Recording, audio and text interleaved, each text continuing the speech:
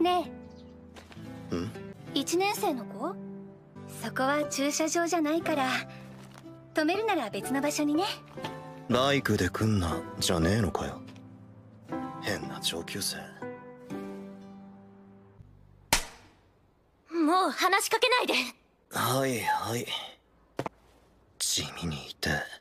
この前の女の子と違うのね。委員会の荷物重くはないんだけどたくさんあって運びきれないの。あんた生徒会の人だったんですか？まあね。お戦国君小柳さん。全部あるな。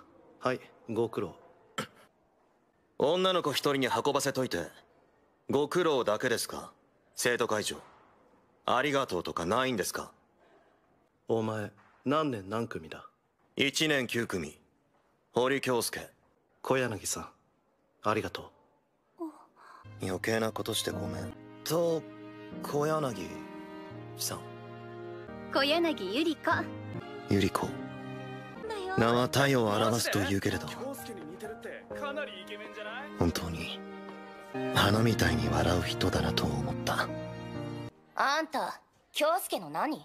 京介が夢中になってるからどんな3年生かと思ったら超地味じゃん。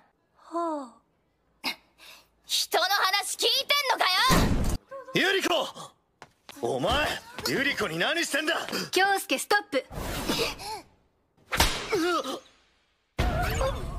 花のように穏やかで百合のくせにトゲがある。